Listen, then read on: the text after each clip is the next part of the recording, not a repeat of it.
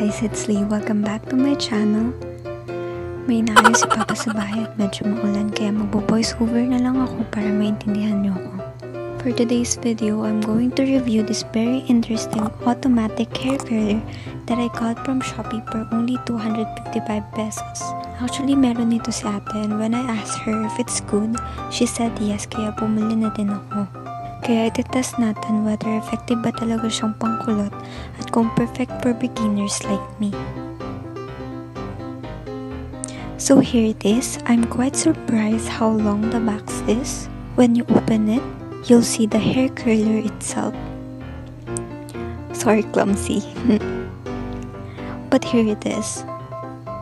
This loose part right here is the place where you'll put your hair. The length of the cord is pretty decent. It also comes with a thin comb.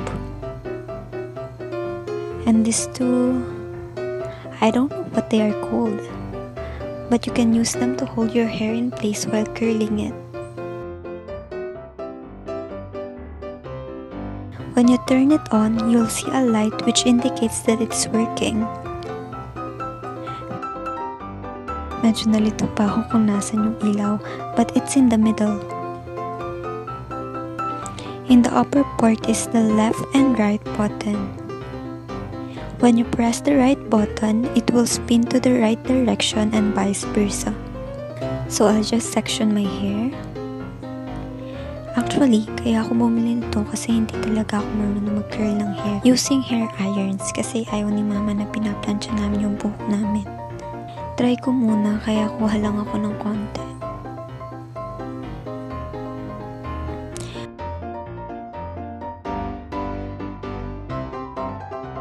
For a moment, I thought nasira ko agad siya.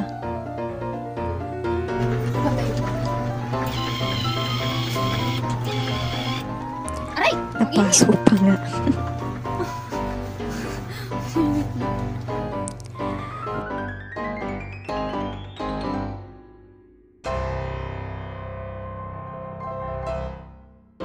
First try.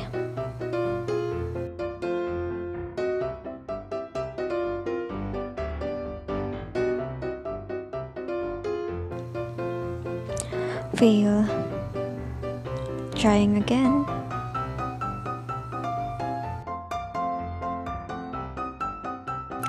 Medyo nakakaba siya gamitan kasi feeling ko hinihigop yung buhok ko. Second try.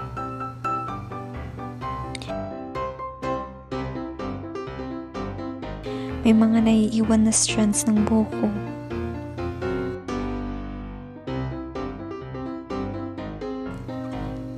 At right na iikot yung naiiwan na strands kasi baka mag-work.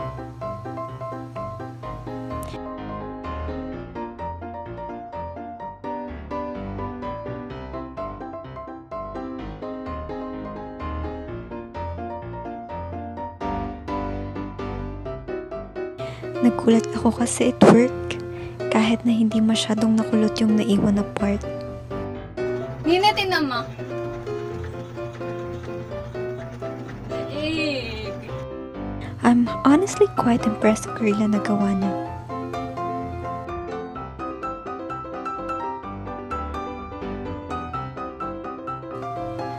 I'll try it again and I hope I can make it perfectly this time.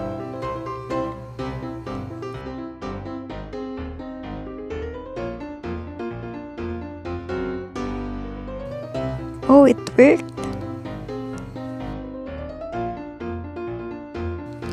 I'm moving my hand back and forth para makontrol ko yung paghila ng curler.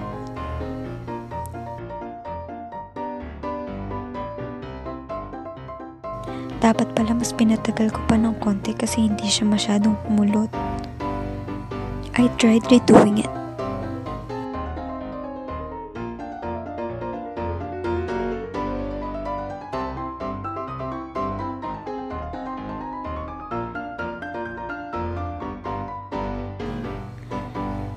I can do it without a mess now. Trying to do it extra longer this time.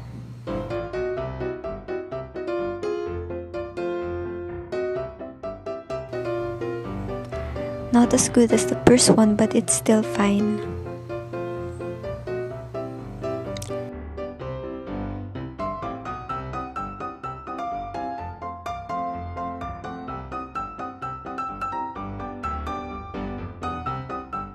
Third try.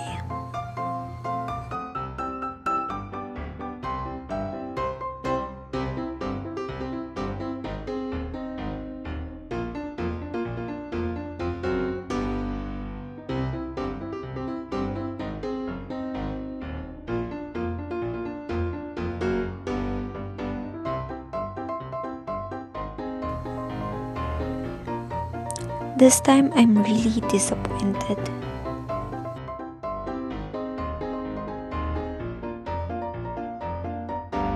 Turns out, it's not that bad naman pala.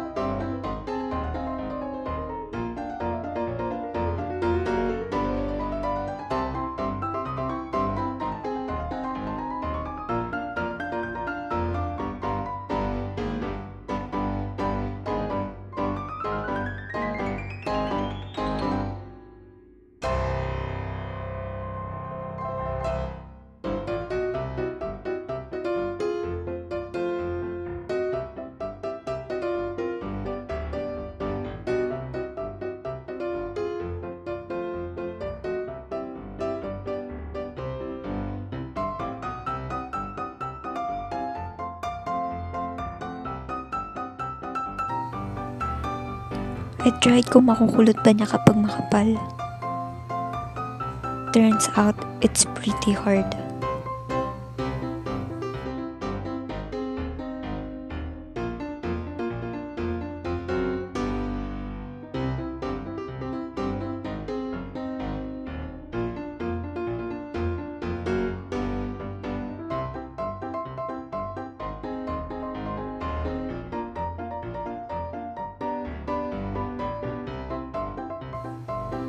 Nawala agad yung kulot ng una.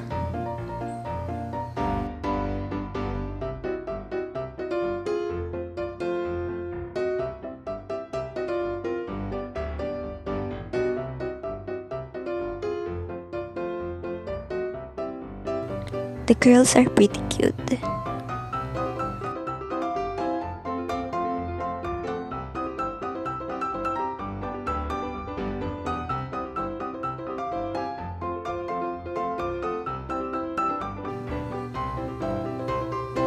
Doing the left side this time.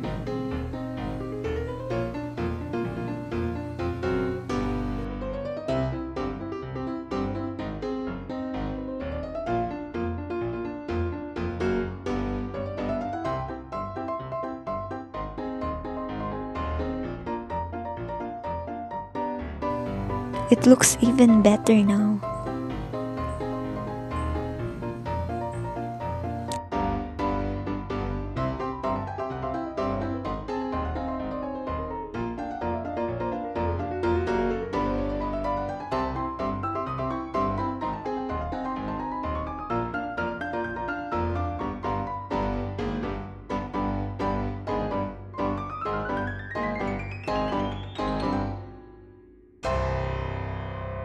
May part na na curl at may part na straight pa rin.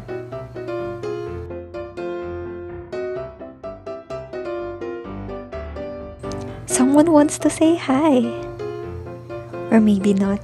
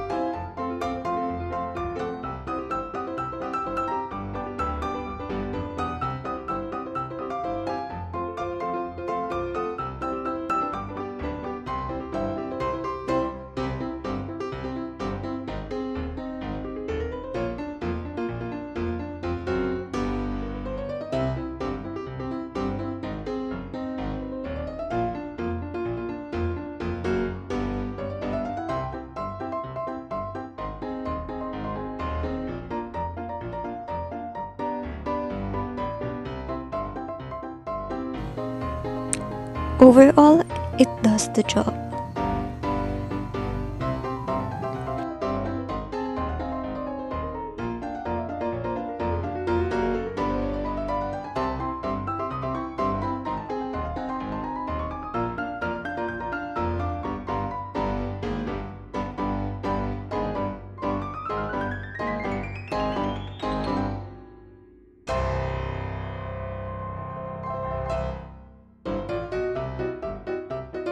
Final verdict.